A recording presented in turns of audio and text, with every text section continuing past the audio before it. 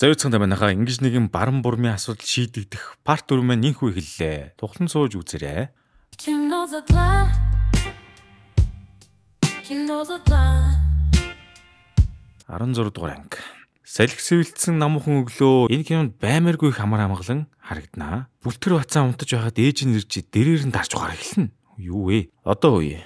Чи Кук маань нас орчихлаа. Барамж уйлж байгаа харагдана. Ер нь яагаад барам ингэж өрөвдөх сэтгэлтэй болсон бэ гэхээр бурмын тархины урд засгийг аваад хийсэнтэй. Тэр нь сэтгэл хөдлөлийн хэсэг юм байна. Тэгээд л барамд хүнийг хайрлах, өрөвдөх мэдрэмжүүд мэдрэгдээд байгаа юм байна шүү дээ. Тэгсэн эмнэлгийн өрөөнд гутлын тол байна. Энэ нь Чи Кукийн өрөөнд гадны хүн орсон гэсэн үг шүү дээ. Тэгсэн харин нэг сэжигтэй хүн эмнэлгээс гараад гүүж байхын тэрэ. Барам араас нь хөөтл явсаар гад нэг бууд руу ороо явчихв. За тэгээд тэр хүнийг барьж аваад барам хэлж байгаа юм чи яагаад миний найзыг алж байгаа юм гэхэд нөгөөх нь муу аратан минь чамаас болж би гимгүү хүн алчихсан гэдэг юм да. Тэгсэн бармын араас бас нэг хүн мотор цогоод авнаа. Мотор зогсон хүнтэй ноцолдож байх хойгуур чиккугийн алуурчин зүгтаад явлаа. Тэгсэн мотор зогсон хүнээс булттал нөгөө хүн чинь барилга дээрээс унаа төмөрн зогдод өгчдөг юм да хөөрхий. Аазгүй гэхүү заяагүй гэхүү. Барам чиккугийн алуурчны араас хөөсөн чинь машинтай зогтчихваа. Барам буц нөгөө төмөрн зогж өгсөн хүн дээр очтол бүр байдаггүй алга болцсон. Ийм хурдан цэвэрлж энэ нэрээ гэрлийн урд цааш. Хин яг энд ингэж туслаад байгаа юм дээ. Хурдан мэддэг юмсан те. За тэгсэн бармын байгаа газар мүч ирнэ. Бармыг чи кукийг алсан байх гэж сэжиглсэн юм байна л л те. Тэгсэн барм өөрийгөө бишгдэг нотлохоор тэр хүний машиныхын дугаарыг хэлтлээ. Мүчигийн машиныг мөргөж төрөвчийг дээрэмцүүн юм. Машины дугаард таарч үт юм да. Барамч хэлж байгаа. Чикүкийн цогцонд задлан шинжилгээ хийлгийа гэж хүсэгч Чикүкийн ээж нь татгалзнаа. Хүүн маш их хутганы сорвтой насарж байгаа болохоор хүүгийгээ биеийн тагж мис хүрмээргүй байх шиг байгаа юм л да. Игэр хүртэлтэй юм да. Чикүкийн буйны ажил болноо. Барамчтын дөөсаар л байлаа. Бараг дотроо удаж байгаа. Чикүкээ би чиний хэлснээр хэрэгэ хүлээмээр байгаа ч одоо олж чадахгүй нэ. Чамайг алсан алуурчныг заавал барьчаад хэрэгэ хүлээнэ. Тэгээд намайг ч судахгүй хүн гисэн. Тийм болохоор найз минь би чиний хараас удахгүй очноо. Айхтрын ботсон юм шүү. Тэгсэн бармын алсан хүмүүсийн гэр бүлийнхэн ирнэ Бооны ч бас ирэх ба барам өөрөөсөө түүнийг холдуулах гэж их муухай ашиглаж бүр ойрч хашгирна. Барам өмнө нь бооныг юу гэж боддог байсан талаарх ой санамж нь орж ирэхээр үнэхээр гутамшигтэй. Энэ хөгшин чавган зүхээд өгөхөөр охин ганцаараа үлднэ. Тэгэхээр намайг алуурчин гэдгийг мэдсэн чи надаас холдож чадахгүй байх. Миний хүүхдийг төрүүлэхэд яг төгс таарч байна гэл. Иймэрхүүн боддог байсан байгаа байхгүй заа юм чи. Сайкопатууд чинь эмгтээчүүдийг зүгээр үр удмаа үлдээх машин гэж хардаг юм шүү. За бүний ажлын газраас барам чикүкийн зургийг аваад гарч байтал хажуугаар нь хоёр хүн Нэг нь нас орсон хүний зургийг аваад орохыг хальт артал наах зэгчийнх нь хөрөөд юм да. Америк явлаа гэсэн хүн чинь нас орчихсан явж байх юм аа. Гэхдээ овг нэр гэр бүл ажлын газар нь хүртэл өөр л байна л да. Ямар ч сан царай нь ямар адилхан юм те. За тэр яг хүмүүс чинь хөрхнөгийн хүүхдийг бурмын хүүхд гэдгийг мэдчихсэн бөө юм болноо. Алуурчны хүүхд юм чи алуурчлал байж таараа энэ төр гэдэл хөө өстэй. Цамнаж гарч байгаа. Хүүхд асрагчаа халаад өөр хүүхд асрагч хайтал хин хүрээд ирнэ гэж толгой ангуучийн ихнэр буюу бурмын ээчүүдээ хөөрхий хүүгээ хүүхдтэй байсан гэдгийг мэдээд л ирсэн байгаа юм л да. Мүүчи жинүүээр бурмын хийгээгүй хэргийг нь үүрүүлчихсэн юм болов уу гэж бодно. Барам нөгөө буудлаа дахиад очтол цусны тол болд юм да. Гэрлийн хурдаар цэвэрлсэн ч дутуу цэвэрлсэн байгаа байхгүй юу? Цусаар нь ДНК шинжилгээ хийлгэтэл хиний цус байсан гэж наг зэгчийнх нь нөхрийнх байвал яах вэ? Ер нь юу ч болоод байгаа. Их чигээ хизээ Америк явсныг нь мэдэх гээд очтол хилд авсан хүмүүс тунд нэр нь байдаггүй шүү. Тэгэл барам өмнө миний амьдардаг байсан ерөөс тэр чигээр хурдл хуурмаг байсан юм байна гэдгийг ойлгоно. Барамчин бүлтгэр бацаан гэдгийг мэдж байгаас тэ манайхаа. Тэгтэл бүлтгэр бацаан гэр бүлийнхнийг алсан да. Гэхдээ цагдаагийн газар ямар ч буруугүй гэж үтсэн байдیں۔ Тэгээд бүлтгэр бацаан гэрийнхээ үүдэнд гавганцаараа сууж явахад хизээч уулзч байгаагүй наагцэгч нь ирээд гэрлүүгөө авч явж ийж. Тэгээ наагцэгч нь хэлсэн л те. Их чин чамайг өөрийнхөө ургийн бичигт бичүүлнэ гэхэд бүлтгэр бацаан. За та тэгвэл миний нэрийг солиод өгчих. Зөв шудраг гэсэн утгатай байрун болгоод өгөө гэсэн юм байл л дээ. За баран багтаа амьдардаг байсан хэрэг гарсан байсан дэр лээ. Ой санамжинд сэргэн. Тэгсэн хөөх юм үнэнгээсээ гэр бүлээ халаагүй ээжээ. Нэгэн өглөө бүлтгэр бацаан сэртэл ээж нь хажууд нь сууж байж. Тэгээд гинт ээж нь бүлтгэр бацааныг алах гэж орол нүрийг нь дээрэр дартал нэг сонин залуу гарч ирээд ээжийг нь хэлж халаад бусдыг энэ ч алсан байна. Үнэхээр сонин байгааз тэр гэр бүлийнхнийг алсан хүн хин гэж бодож байна. Толгоон ангуучийн 18 дахь хөрөгчийн дүү бармын хамгийн анхны хөрөгч бокс ч байт юм да. Гэр бүлийнхнийг нь алсан болохоор барам хайж хайж байгаа тэр боксныг алсан байж. Ээжийг нь түлхэж асан болохоор ийшээ тийшээ түлхэж дүү нарыг нь шатаасан болохоор өөрийг нь амьд байхад нь шатааж хойд аавыг нь хутгасан болохоор боксчныг мөн адил хутгаж авсан байжээ. Тэгээд л нөгөө библийн нүдийг нүдээр, шүдийг шүдээр, ясыг ясаар гэдэг мөр өшөө авсан л гэсэн үг болж л байгаа юм л да нэг утгаараа. Гэхдээ энэ тэгээд гэр бүлийнхэнтэй хайртай биш харин өөрийнх нь өмчөд халтсан гэдэг утгаараа л байгаа юм л да. 17 дугаар. Бурмын ээж нь хөөрхнөгийн гэрийг цэвэрлж байгаад нэвтрүүлэг хийх гэж байгаа хогшдын зургийг үзэж байтал дунд нь Фоксын дасгалжуулагчийн зураг байна. Тэгсэн Фоксын дасгалжуулагч нь Бурмын ээжийг сусооны алуурчнаас аварсан хүн байнлээ шүү дээ.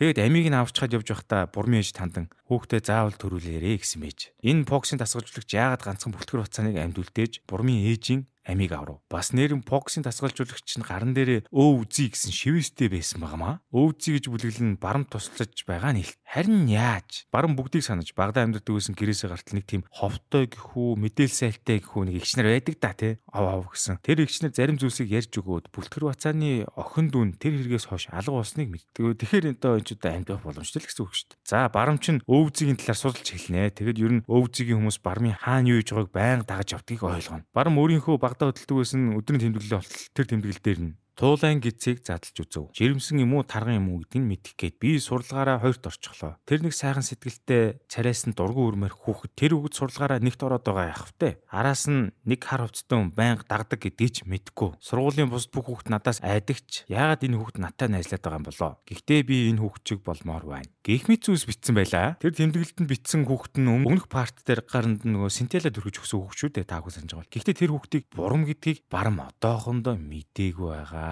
Бооныг гаж дунд нь эрэмдэглүүлчгээд гүүрний дор байхад нь бүлтгэр бацаан тоглоом тоглоход нь саад боллоо гэд орхио явсан бол харин бурамч нь бооныг авч цагдаа дуудлага өгч бүр үүрээд явсан хүүхд юм байна лээ дээ. Тийм л сайхан сэтгэлтэй хүн байжээ. Барам сурч байсан сургуультай очиод өөрөөс нь айдаггүй байсан хүүхдийн хувийн эргийг хартал бурам гэд биччихсэн байт юм да. Тэгжил тэр сайхан сэтгэлтэй хүүхд бурам байсныг бар мэдчих байгаа. Харин хувийн ирэг дээр нь сэтгэлийн дарамттай гэж бичсэн байлаа. Энийг юу гэсэн үг болохыг багшаас нь асуутал буран маань байнга л хин нэгэн түүнийг дагаад байна гэдэг байсан гэж байгаа. Сэтгэл заслын эмчилгээнд яваад ч ирдэг үг нь. Тэгсэн энэ мөчөд баран бурмын хэлсэн сүүлийн үгийг саналаа.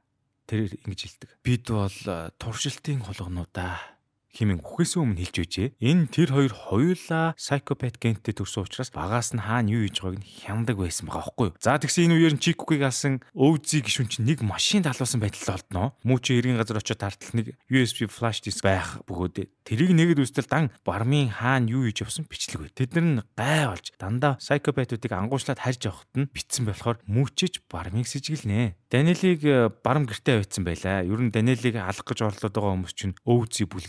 Баран маань хэдийн юм судалж байгаад Даниэл анханасаа бүгдийг мэдэж байсан бас гадарлнаа. Тэгэд лавшруулан Даниэлээс асуулаа. Америкт ээж байхдаа танай гэр бүлийнх нь нас орсон хэрэг гарсан. Тийм болохоор би чамаа гэрийнхнийгээ алсан гэж сэтгэлсэн. Харин сүулт Солонгос дээрээ бурамтай уулзахад бурмыг гоц ухаантан гэдгийг мэдсэн. Тэгээ бурамтай уулзах гээд парк дээр хүлээж байтал өвзий гişүн намайг ирээд алах гэж оролдоход бурам намайг гэртээ байлгаж асарч цуйлсан гэж үннийг хэлдэг. Даниэл 18 дугаар анги. Барм ажил дээр ирэхэд мүүчи шууд цогж аваад л Чи юусдэ новшмын чи сайкопатуудыг ангуучлаад байгаа сайкоид зүтэй гээл загнаад цамнаж гарнаа. Энэ хоорондын цагдаагийн газар бас нэг өвзий байдаг болтой шүү. Мүүчид байгаа флашийг сэмэрхэн авчихын тэр. Бооны тэр хаваар явж таарад мүүчийг үстчихэж байх шиг юу ч болоод байгаа. Барамч нь бурамтай зодсноос болоод ард түмний хүү болсон шүү дээ. Тийм болохоор ард түмний хүү зодлоо гэд мүүчийг ажил дээрээс нь түдгэлзүүлчихнэ. Тэгсэн Даниэл хөөхнөгөр хөргүүлээд өмнө нуугдж исэн газраа очтол үлдээсэн зураг нь бүр байдаггүй. Бас дээрээс нь өвзийнх нь тэрнийг хүлээж байсан байдаг. Шууд л Даниэлийг бариад аваад явдаг. Хөөхнөө угаасаа очисон ч Даниэлийг хамгаалж дийлэхгүй болохоор холоос хараад л зогсож байдаг. Ингээд шүн боллоо. Барам дээр мүүчи алхбарж ирээд чи тэр хүмүүсийг алсан хөхтөн барам тийм ээ л гин. Үгүй тэгээд үргэлжлүүлэн барам хэлж байгаа юм. Би тэр гаж донтон бооныг алчих байх гэж бодоод алчихсан юм аа. Бусад сайкопатуудыг би халаагүй. Та намайг энэ удаа өшөөчхөө. Чи кукийн алуурчныг болоод заавал хэрэгээ хүлээнэ гэсэн чи мүүчи. Яг үнэ үнэндээ ийм хариулт хүлээгээгүйсэн болохоор бүр шок. Царай энтрийг нь харчлаа та нар. Тэгээд л хөөрхий итгээд мүүчи бармыг орхиод явнаа. Цагдаа аавын ихнэр дахиад л алга болж хүүхдээ алдснаас уу сэтгэл зүйн асуудалтай болчихсон шүү дээ. Эхнэр нь явж байгаад хөөрхнөгийн байрны гадаа ирчихсэн байхan тэр. Тэгээд бурмын ээж сатарж байх орд нь хөөрхнөгийн хүүхдийг аваад явчихнаа. За тэгээд энэ ихч чинь одоо хөөрхнөгийн хүүхдээ цагдаа авдар ирвэ. Цагдаа хүүхдийг нь буцааж өгөх гээд уцаар ярьж байх оронд нь эхнэр нь хөөрхнөгийн хүүхдийг аваад машины урдуур ороод дайрлцдаг юм да. Тэ эхнэр нь хөөрхнөгийн хүүхдийг ингэртээ нааж хамгаалаад унсан байдیں۔ Тэгсэн цагдаа аавын эхнэр эмнэлэгт хүрэхэд би энэ маш муу байла. Бурмын ээж нь хүүхдээ аавыг эмнэлэг дээр ортол цагдаа аав түүнийг толгойн ангуучийн эхнэр гэдэг мэдэнгүүтээ саяны хүүхэд бурмын хүүхдүүдийг ойлгох. Тэгээд толгой ангуучийн ихнэр тандан чи нөхрлөгөө яваад миний охины цогт цаана угааг асуугаад ир. Тихгүй бол би энэ хүүхдийг чинь өөрийн гараар ална шүү гин. Барам нэгэн асамжийн газар ирэхэд охин дүү амьд үйж идэг аа. Үндэ боксинг тасгуулжуулагч тэр герт нь хүүхд байгааг мэдхгүй шатаачсан юм байна л л дээ. Тийм үйлдэлсэндээ их л гимшиж амьдэрдэг байж. Тэгээд охин дүүтэйгээ очиод уулзтал бурамч мөн адил өмнө өөр дээр ирж байсныг хэлдэг. Тэгээд бармын охин дүүд бурм ингэж хийсэн байж. Одоо чи тэр хойлохнаа үлцэн гисэн байгаа юм. Энэ бас их сонирн байгааз. Энэ хооронд мүүчи чинь парт 2 дээр бурмын шатаасан зүйлс дотроос генетикийн шинжилгээний цаасны хэлтэргээ болсон доо. Тэрийг юуны лого гэдгийг мэдэхгүй болохоор нэг таньдаг хүн дээр очиж хайлахнаа. Тэгсэн чинь ийм хэн хэлтэргийнээс бүгд бүтэн логог шууд олох чадвартай байгаа юм чинь.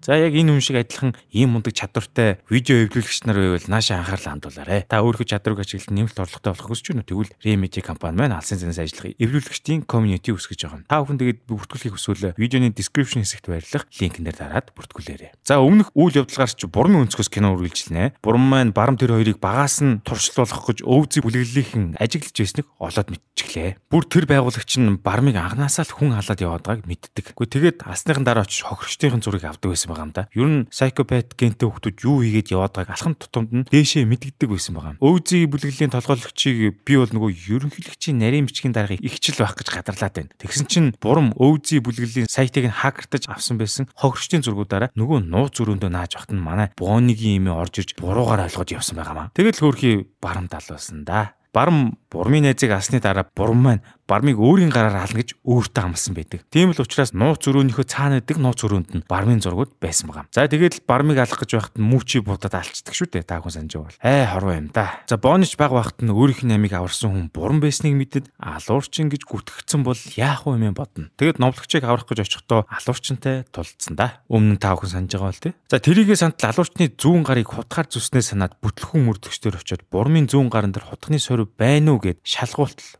байдаггүй юм да. Энийгээ барамт хэлэх гээд очтол барам унтаж байлаа. Тэгээ юуны магадгүй зүүн гарыг нь шалгатал худганы сорив байдаг юм да. Хөрхи бооны шок. Энийг харчгаад явах гэтэл барам гинт цэрэд гарнаас нь атгаад авдаг юм да. Айсан бооны эргээ тартал. Бооныгийн ярьсан одоо яа игээд байгаа юм бэ? Нарны гэрэл бүр гялзж өгдөг шүү. Вау. Та хэд минь бооны шиг чиглэг арьстай болмоор байна уу? Тэгвэл Еврошо брендийн Geleron-ы хүчилтэй Hydra Vegetal гэж үрдлийг хэрлээд үзээрэй. Бүгдээрээ бооны мэт чиглэг арьстай болцгоё. Та нар арьсны чигшлийн талаар юу мэдэх вэ? Шинжлэгдсэн Hydra Vegetal иж бүрдэл гэрэлтсэн толгоор чиглэг. За энэ ч яг уу толгой ангуучийн ихнэр нь толгой ангууч дээр очиод ач хүүг минь цагтаа алах гээд байна. Тэрний охины цогц нь хаана байгаа юм бэ гэхтэн нөгөөх нь. Чи битгий солиор намайг төрсөн үгээ мэдхгүй тэнэг гэж бодоод байна уу? Хэмээн хэлнэ. Бурам чин толгой ангуучийн хүү биш заа юу? Баран бурам хоёрын ээжүүд нь хүүхдүүдтэй нэлэх бахтан сольчихсон гэж хэлнэ. Энэ бурам чин толгой ангуучийн хүү биш байгаа юм байна л да. За тэгээд баран бурам хоёрын ээжүүд нь хүүхдүүдтэй нэлэх бахтан сольчихсон байжээ. Тэг ямар нэгэн сайкобат шин тэмдэг илэрвэл хүүхдийг шууд ална гэж тохиролцсон байж. Энийг нь толгой ангууч мэдчихгүй л яах вэ?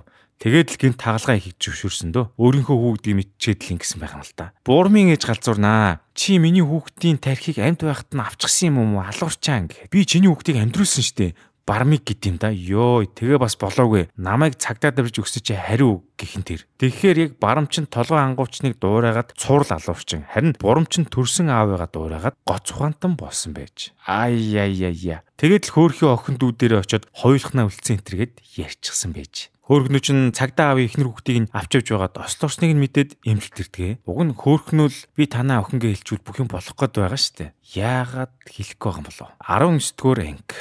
Хөөхнөө минь ээж дээр ирээд Ээжээ намайг уушлаарай. Тэр өдөр би дүүгээ ганцаарнг нь орхиод явчихсан юм аа. Тусамж дуудах гээд яваад дүүгээ ганцаарнг нь орхиод явчихсан юм шүү дээ. Тэгээ та хоёрын өмнө буруутай юм шиг санагдаад очихгүй байсан. Хэмээ хэлдэг. Ер нь ийм л учиртай байж л те. За ингээд э, юу ч хэлэхгүй цагтаа аваас хүүхдээ аваад явчихж байгаа юм да зөвлөгч нь хилчгэд яадаг байна. Хөөхнүүд Даниэл эмч толгой ангуучийн хүүхэд нь барам гэдгийг хэлжээ. Тэгэл одоо нэвтрүүлэг гаргаж хүүхдийнхээ аавын нэр хүндийг нь цэвэрлэхээр шийдсэн байгаа. Тэгээд толгой ангууч дээр хөөхнөрж уулзнаа. Хөөхнөө хэлж байгаа юм. Би чамайг зүйл дуусганаа. Түр хүлээж байгээд гараа явна барам хайж хайж наг зэгчигээ чээжүүд байгааг мэдээд очиулснаа. Тэгээд юун учиртай хүн болохыг мэддэг наг зэгч нь хэлж байгаа. Би туйлзуур сэлмэр хичээлдэг байж байгаад яаманд орсон. Тэгэд яамны харьяат өвзий гэж байгуулга байдгийг мэдээд тэрэнд орсон. Миний хамгийн анхны даалгавар бол чиний наг зэгч болж чамайг ойроос ажиглаж чиний үйлдвэрийг тайлагнах байсан юм. Гэж ярьж байх хооронд нь бүлтгэр бацаа нэг нохооны шүдийг сугалж авч байгаа харагдана. Ямар амар юм бэ? Энэ бүгдийг сонссон барамч би ч жинхэнэ Трүмэн байсан байх нэ гэж байгаа. Ер нь бол бурмыг мүүчи тэр өдөр алаагүй байсан бол угаасаа өөрсдийн талаар мэдсэн болохоор өвзий бүлэглэлийн чинь алах байсан юм байна л шүү дээ. Хуурамч нагцэгч нь барамд өөрийнх нь дүнэлтийг уншуултал барам сайкопед мөн ч хүн алах шинжгүй байгаад байна. Тийм болохоор боксing тасгалжуулагчийн байршлыг зааж өгье гэсэн байдаг юм да. Барам тэр хүнийг хайд байсан ч нэг өдөр л боксing тасгалжуулагчийн хай гүцэн дээр хүрээд ирсэн байж. Өрөвдөлтэй ч юм дөө. Бараг албаар, бараг албаар шахуу сайкопедийн төрлөх чанарыг сэргээсэн юм шиг байна. Ямар нэг юмний туршил гэдэг чим байдаг бол тайдаг аа.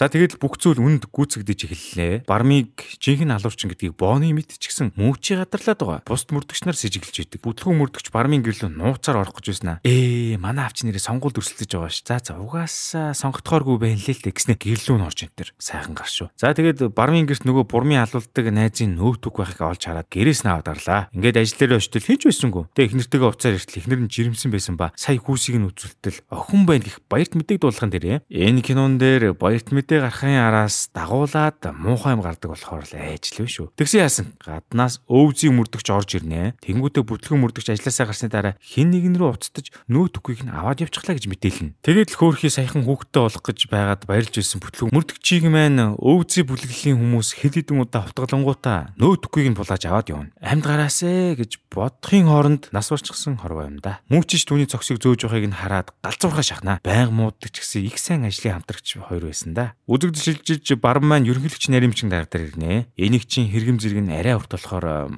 мань ихчгэл явъя л да. Өмнөх дугаар дээр Бооны барам хоёр болцгож байхад нь Даниэл дуудаад Psychopath Enter гэд хүний нэр өгсөн дөө. Тэгсэн чинь харин энэ ихч маань байсан байт юм да. Тийм баха нэг хүүтэн царайтай байсан гэхгүй. Тэгснэ бүр мань ихч хэлж байгаа. Юун түрүүнд эхлээд баярлаа бармаа. Алуурчин болж өгсөнд Харин бурам гэж нэг юм гоц ухаантай байж энтер гэл. Тэр үед Psychobet гэнтэй уургийг аборт хийх хөлн төсөл батлаагүй болохоор би ингэж урт хугацааны төлөвлөгөө гаргасан юм аа. Бид дахиж энгийн үнийг танаад дүүшиг толгой ангуучиг Psychobet-уудад алдаж болохгүй гэд Даниэлс та нарын нэрийг авсан юм л да. Тэгэд та хоёрыг алуурчин болгоод өсчихвэл тэр хуулийн төслийг батлуулахар төлөвлөж ирсэн юм. Тийм учраас та хоёрыг холоос ажиглаж аюулгүй амьдруулж ирсэн. Тэгсэн чинь чамайг бурмаа суулж нас ороход ард иргэж чамайг ард түмний хүү гэж өрөмжсөн. Учир нь чамайг сайн хүн гэж итгэсэн хүмүүс чамайг сайкопат гэвэл бүр их үзен ядаж тэр хуулийг зөвшөөрөх учраас шүү дээ. Миний мөрөөдөг ертөнцид чам шиг гэмт хэрэгтэн амьдрах ирэхгүй гэж авдим да энэ зэвхий царайтай ихч. Энэ улс төр гэдэг чи одоо яг юу вэ? Гэхдээ тэгсэн чи барм одоо бүр алах гэд оролдоно л доо. Даанч одоо чадахгүйгээр явцдаг.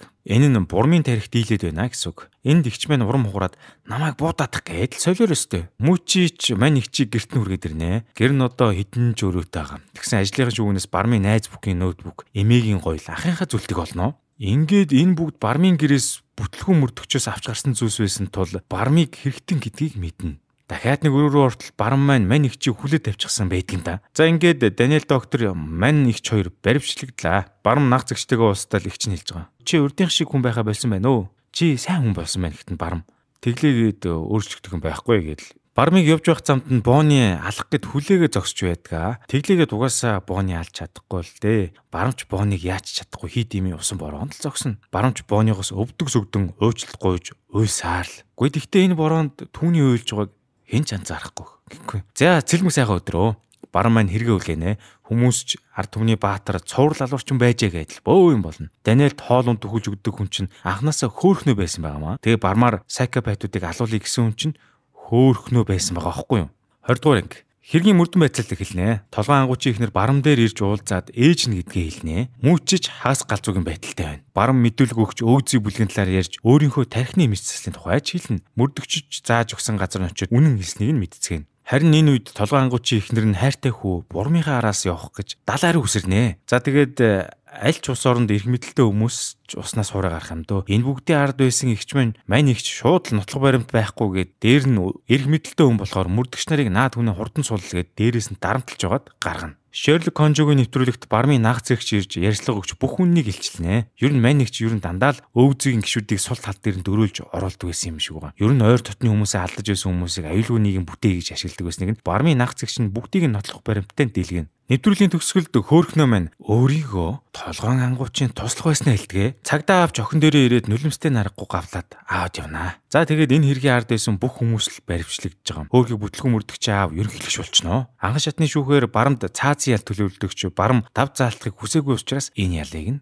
хэвээр үлдээд барам шоронд ирлээ. Одоо харин яах бол мүүчигийн хүслийг биелүүлэх болов уу? Тэгсэн яасан гэж барам гинтл хуучин шигэ болчихноо. Харгалзагч найз руугаа ууралж хараагаал. Тэгснэ гинт толгой ангуучны өрөөнд очиод аава би тантай уулзах гэж удаан хүлээлээ ээж гэж явах шиг. Нөгөөтгөн ч би хүүгээрээ их бахаргаж байна ч гэж явах шиг юу ч л тоо. Кино кино. За тэгсэн цаашаа шууд аавыгаа алчихна шүү дээ. Ингэжил мүүчигээс уучлахгүйж байгаа байлгүй дээ. Тэгэд бүр толгойг нь таталцсан байгаа юм чинь. Шүн бармын толгой маш хүчтэй өвдсөөр энэ өвдөлт нь яг хулган тархийг нь мэрж байгаа юм шиг санагддаг гэж байгаа. Үүлийн үр гэдэг л энэ байх та. Хөөхнөд шоронд орсон байгаа харагдана сонирн байгаа зү баг барьцаалагдсан хүн байхад шорон дэжинтэр мүүжи барам дээр уулзах гэж ирнэ. Тэгсэн чи барам хэлж байгаа. Миний нэр дээр байгаа эд хөрөнгийг хохирчдын гэрийнхэнд өгөөрэй. Гэхдээ сүүлчийн удаа би бонито уулзч болох уу гэтэн мүүжи. Ичхүүргөө новш гэж хэлчихээ гараа явна. Тэгсээ нөх хөрхөн бооны дээр очиод уулзчихал даа гэж ятгаа сууж байгаа. Бооны барам дээр ирээд э, барам хэлнэ. Намааг уучлаарэ. Би хойд насандаа энгийн хүн бос төрнөө. Тэр үед уулзъя л гин. 3 жилийн дараа Маник чоронгоос ерөнхийлөгчийн өршөөлөөр гарлаа. Гэсэн ч түүнийг өөзөө бүлэглэлийн гишүүн ч юм уу. За мэдгүй хин ч юм алдчихж байгаа. Хөөрхнөч мөн адил шоронгоос гарлаа. Харин түүнийг үүдэнд нь гэр бүлийнхнийх нь хүлээгээд явж ялаа. Харин Мүүчи Бооны хоёр маань цуг амьдардаг болсон харагдана. Гэхдээ гэхдээ яг гэрэлсэн гэсэн үг биш шүү хандуудаа. Зүгээр л ах дүүсийн амьдралаар их үдэ. Мүүчи ч өндөг зардаг болсон байна. Барам харин 3 жилийн өмнө сүм дотор нүглээ намжлаад нас орсон байдаг да. Ингиж ташлааж өгснийг нь ботход бурхан түүнийг гисгэсэн юм болоо да. Сайхан сэтгэлдээ болгож өгсөн болохоор бурхан түүнийг аварсан юм болов Та нар юу гэж бодож байна? Энд хүрээд сар гараа үргэлжилсэн энэхүү Маус Олон ангит киноны парт дүрэн маань энд хүрээд дуслаа. Та бүхэн юу гэж бодож байгаа? Сэтгэл хэсэгт бичээрэй. Уншиж байгаа шүү андуудаа.